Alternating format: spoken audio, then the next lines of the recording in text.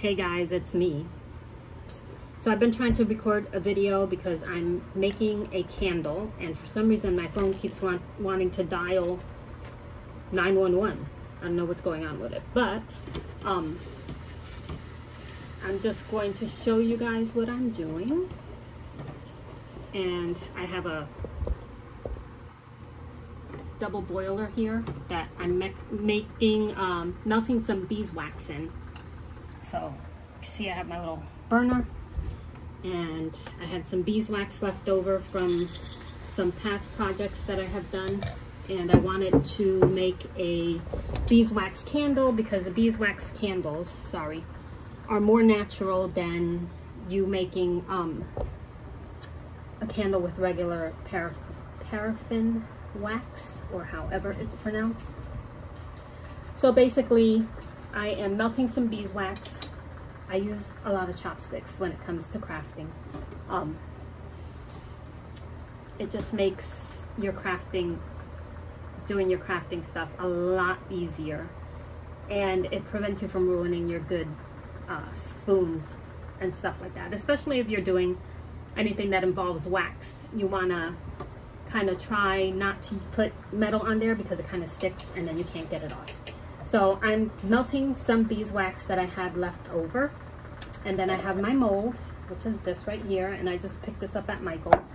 And then I have uh, natural uh, wicks that are coated also in beeswax. So these you can, they have a little tab on the bottom. You can just set it inside and pour your wax in or if you want it to be more centered, just measure it out um, with another tooth uh, chopstick and then just turn the wick and then when you put it in it will center to wherever it is that you're looking for it to center so it doesn't uh, it doesn't end up so wonky when you're doing this so basically it's a really simple process and you can get beeswax anywhere. I just happen to have a lot of it left over from uh, when I used to do uh, deodorants. I used to make my own natural deodorants and soaps and things like that. And I used beeswax and some of the, especially like the lip balms and things like that. I use beeswax just to give it a little bit of a um, firmer consistency. So you can get your wicks. They come in a little bag like this. And then the other day when I was talking about, uh, sorry as I'm mixing here, when I was talking about the altar space and I was talking about the altar cloth or, you know, your little, uh, whatever cloth it is that you want to use to put over the top of your altar. I talked about some uh, cloths that you could get at Walmart and I just want to show you I use these a lot for crafting but it's a nice big square. It covers a nice space. These are great. They come like 12 in a package and you pay like $7 for 12. And I use these, like I said, I use them a lot in my kitchen, almost predominantly because they're, I can throw them away when they get all gross and stained and not really feel like I spent a lot of money on some towels. So but this is it and you can also because it's cotton you can um, use fabric paint or stencils and you can actually decorate it to your heart's content you can dye it with that um, that little dye packets or any kind of like natural dye these will take dye really well so they come in really handy. Another tool is the chopsticks they come in handy. I use chopsticks all the time, not only for cooking, but specifically for crafting because I don't want to mess up my good, uh, my good stuff. So the wax is melting and it's kind of going on its own. And if you wanted to do a candle where you don't want to, you just want to put it in a glass jar, you can literally just get some of those canning jars and just put your wax in there and your candle your candle wick in there and you've got a candle that is in a jar. The candle I'm making today is not gonna be in a jar. It's actually going to be pulled out of the mold and be a standalone. You can also add um, scents to it, like oils. You can add lavender oil or rose oil or orange oil, whatever scent you wanna make it. Uh, it's really easy. Add a couple of drops into your wax while you're cooking it or melting it and you should literally be good to go with your scented candle. Using uh, beeswax for your candle is a lot healthier, not only for you, but if you have pets. This is not going to give off any kind of chemical into the air, which is why I prefer to use this. And my beeswax is white because I actually purchased white beeswax, which you can find. You can see that I have some yellow in here. But I purchased white beeswax because I was using it for deodorant and I didn't want the deodorant to be yellow. So I just happened to get some white beeswax. If you're like me and you can't do any crafting inside of your home that's heat-based or cooking or anything like that, having one of these is fantastic. It's just a little burner. I bring it out here, I plug it in, plug it in. I have electricity in this area of the house. So I plug it in and then I can do my cooking in here. And I also do, when I'm making any kind of um, clay or anything like that, I also use it, I also do that out here so that I don't have any um, crazy smells going on so this is almost, like literally almost melted down completely. So you want to make sure that your wax, as you're heating it up, you melt it down completely. I'm using a double boiler and I picked this up at a thrift shop a couple years back and I specifically use it for crafting. I don't want to use it for anything else but to make crafts because sometimes when you're making stuff you leave like a residue inside and if you're using it for crafting and for food preparation that's not a good combination so I would suggest you know investing in a, a used double boiler.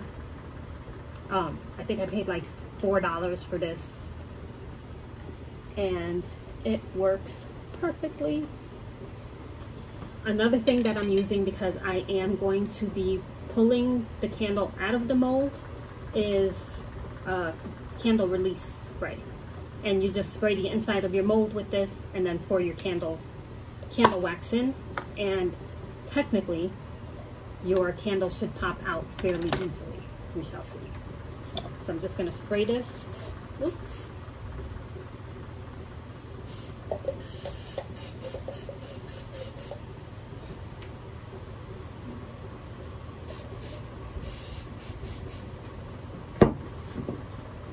and this really stinks like chemicals so you may want to um,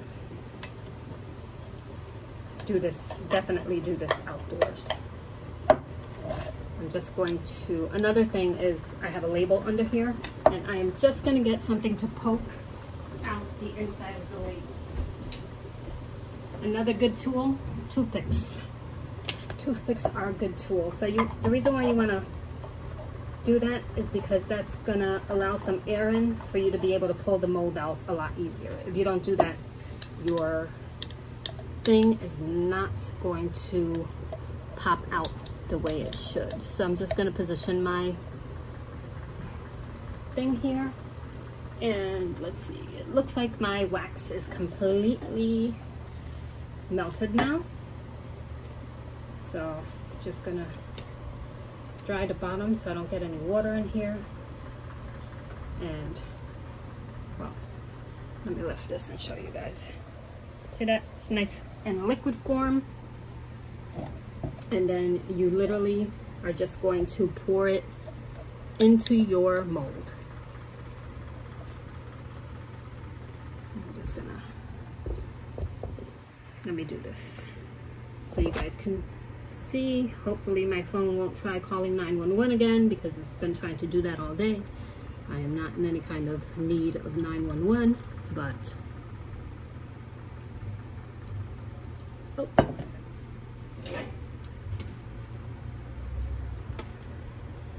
And, of course, you're going to have some dripping from the hole in the bottom Probably could have used a whole heck of a lot more wax in here, so it's gonna be a short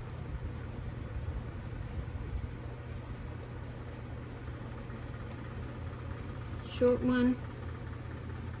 Probably gonna melt some more wax.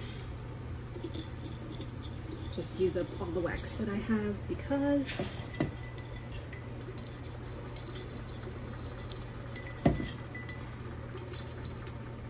So you guys know candle wax or beeswax candles are fairly expensive, which is why I'm making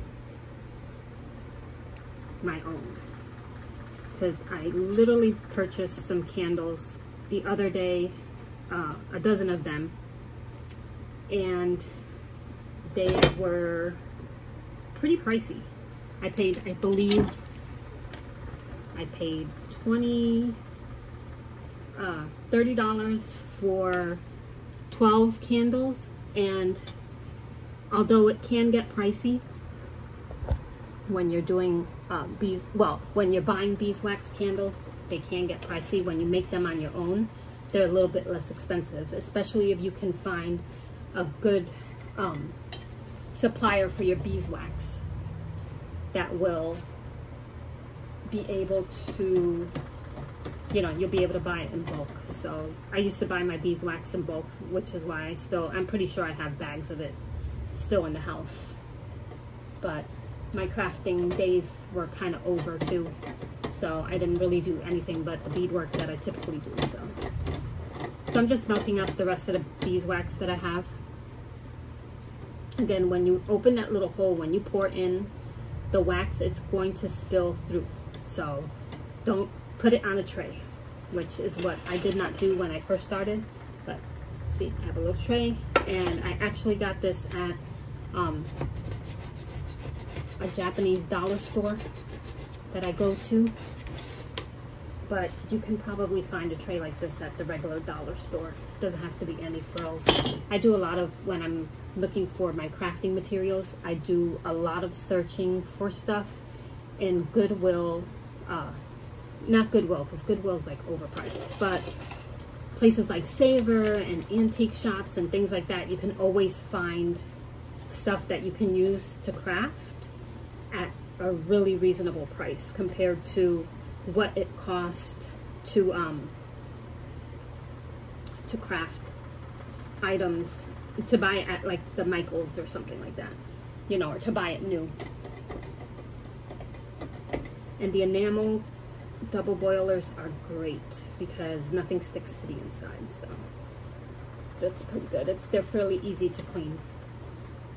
But this is melting pretty quickly because the water is really boiling. These little hot plates are great to use. You just got to be careful especially if you're working in an area of your house where you're walking away that you turn this thing off because anything that falls on there is going to get lit you know? So So I'm just going to melt this. Maybe the next time I make candles, I will go live. And if you guys have any questions, you can always reach out to me or ask me while I'm in the midst of doing this. So, but it's pretty simple, pretty easy. Just pour it right into your mold. Um, be careful with the double boilers because sometimes the water comes out from the, the sides of it. So if your hands are near, you might get burned. Be careful when you have kids running around that they're not, you know, gonna get burned or anything like that. But I will take pictures of the finished candle when I'm done with it. You guys can see that because I'm at my 15 minute mark so or I'll do a little video of me taking it out of the mold. One of the two. But I'm gonna let you guys go because this is going to take a while to finish melting. And so actually let me look at this. This might be enough to I still have some hard parts in here but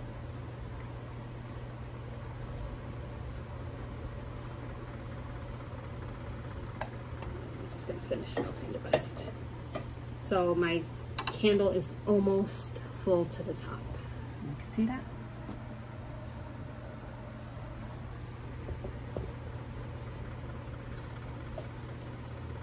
There's a lot of things you guys can make at home as opposed to buying um, buying them. Even perfumes can be made at home. I used to make face, uh, I used to make lotions, I used to make soap, uh, laundry detergent, all at home.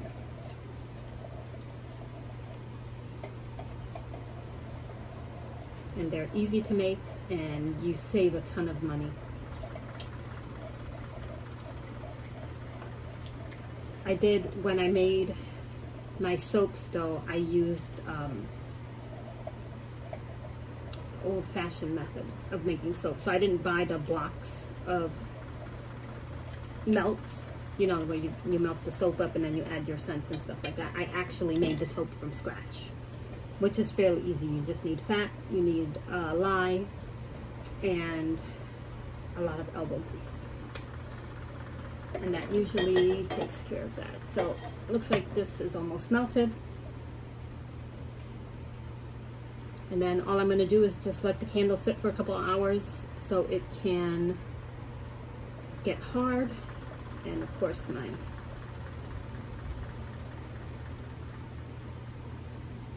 my wick isn't completely straight, but whatever. I'm not going to be too concerned about that because it's for my own use. All right, just gonna pour the rest of the little bit of wax that I have in here, and that's it. I will come back when this cools down and show you guys what it looks like. Bye. Hey guys, so I am back um, wearing a different outfit because I had to run some errands while the candle was cooling. But I want to, I was to just take pictures, but I decided to go ahead and do a video um, and this is taking taking the candle out of the mold. Now, you have to make sure you spray it really good inside because if not, it's gonna you're gonna have a hard time taking it out. But you, if you're using, if you're making the candles for yourself, you can use like a butter knife or even a stiff piece of um, cardboard or plastic to kind of put in between the edges to just feel it out. Another thing that you can use, because you could see how it separated as it was drying, is on your double boiler, just heat up the water again and dip the candle in for a few seconds. That'll soften it enough for you to be able to get it out. So, another thing, again, toothpicks, push it Whoop, there goes. So here is the candle.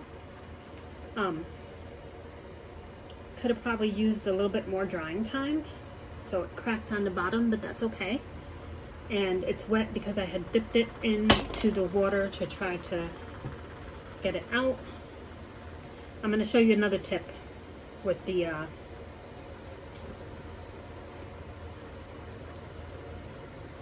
with your um,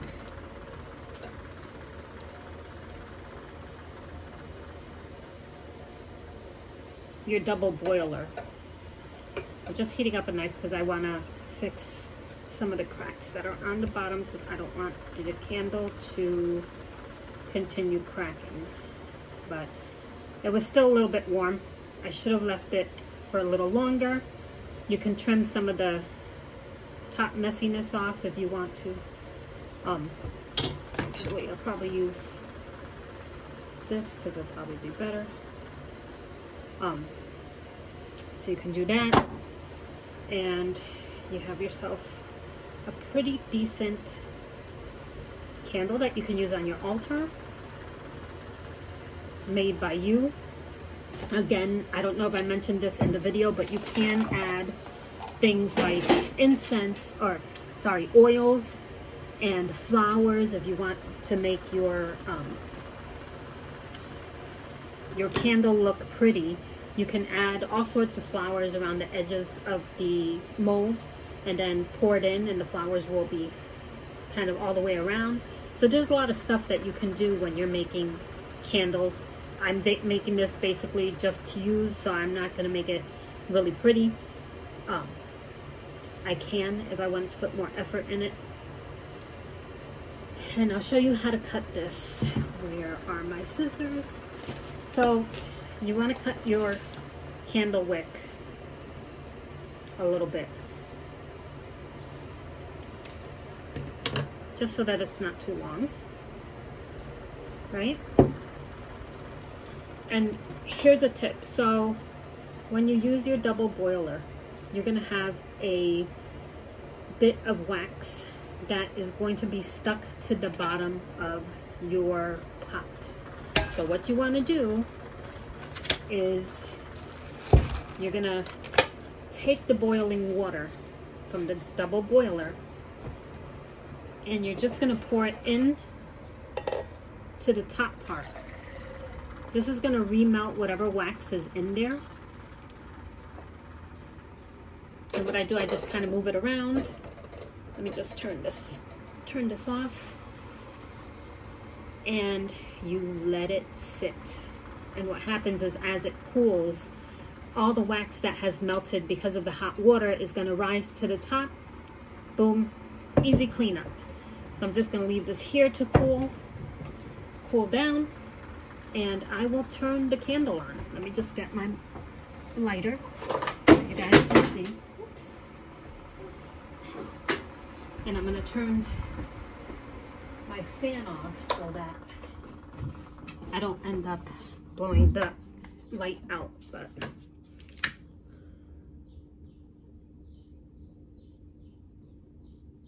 there you go. Perfectly usable beeswax candle for a lot less money than you would pay if you ordered these. They're really easy to make. Again, you can make it really pretty. You can add scent to it if you choose to add scent to it. Or you can just, boom, that's my Starbucks cup. You can just leave it as is. Put it on your altar. Whoops, sorry guys. You pop that in your altar and there you go. Got a beautiful altar candle that's made by you. While you're making it, you can do a lot of like, um, you know, meditating or prayers over it as you're making the candle. I, I believe that when you imbue things with positive energies, those positive energies kind of go into whatever it is you're making.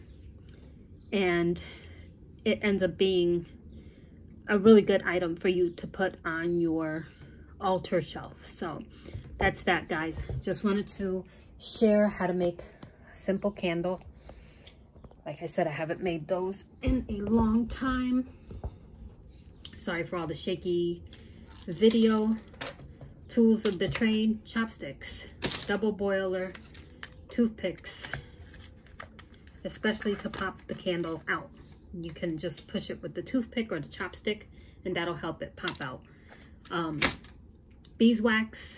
And if you want it scented, scents. If you want flowers in there, flowers. If you want glitter in there, put glitter in there. Anything you want to do.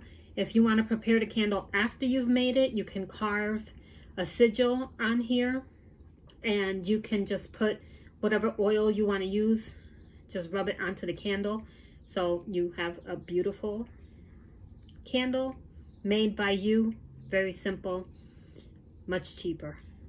So that's that. If you guys want to learn how to make anything else that I might have made in the past, I will be happy to share. So you got any questions, leave them in the comment section below. So, all right, guys, thanks for watching. Bye.